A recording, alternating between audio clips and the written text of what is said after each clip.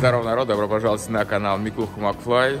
Вы, наверное, догадались, судя по названию и количеству ретро-автомобилей на заднем плане, что я сегодня в автомастерской. Это станция не юных техников, так называется гараж, и здесь машинам дают вторую жизнь. Но сегодня речь пойдет не о вот этих вот автомобилях, а о потрясающей машине Ford Mustang 71 года. Мне разрешили на него посмотреть, мне про него рассказали, и, собственно, с удовольствием покажу вам.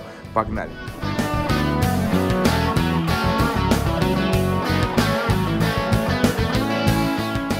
Машина уникальна по нескольким причинам. Во-первых, это единственный Ford Mustang 71 года в нашей стране. Во-вторых, машина полностью восстановлена в оригинальном виде и в ее восстановление вложено несколько миллионов рублей. Кстати, ввозился автомобиль в страну из Финляндии как культурная ценность. Но и это все не самое главное. Самое главное, что это машина 71 года, а это последний огромный Mustang, выпущенный компанией Ford, с V-образным 6-литровым двигателем мощностью 250 лошадиных сил. И это не те лошадиные силы, которые сейчас на машинах, это реальные 250 лошадей. Полная, самая глубокая реставрация каждого элемента. То есть включая разборку мотора, сборку всех элементов наружу. Заведешь? Она еще и заводится? Она на полном Она сейчас колеса имеет не особенно красивые. Колеса в заказе сейчас. Колеса, да, пока не очень. Это, это, это вообще не его колеса. А в Финляндии она еще была? Ну да. А внутреннюю отделку пока еще не делали, да? Внутренняя отделка в начатом состоянии, вот уже прям новые сиденья, новые полы, потолки. А вы Роль. как обтягивали старые или?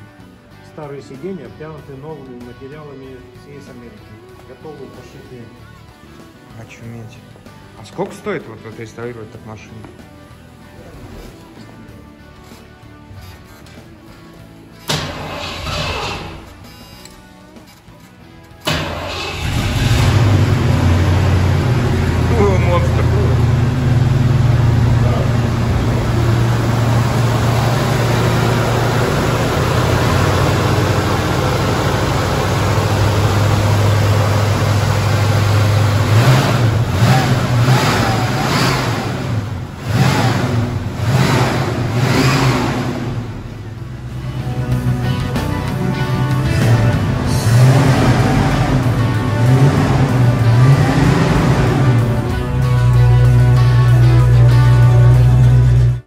Так должен звучать настоящий Ford Mustang.